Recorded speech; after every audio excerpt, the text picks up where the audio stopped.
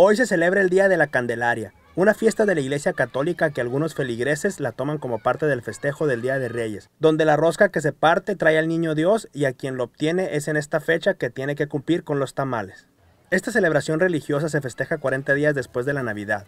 Es por eso que decenas de familias sonorenses asistieron a la plaza principal de Villa de Ceres para disfrutar de un día en familia y aprovechar para recibir alguna bendición en las misas de la Candelaria que se ofrecen cada hora.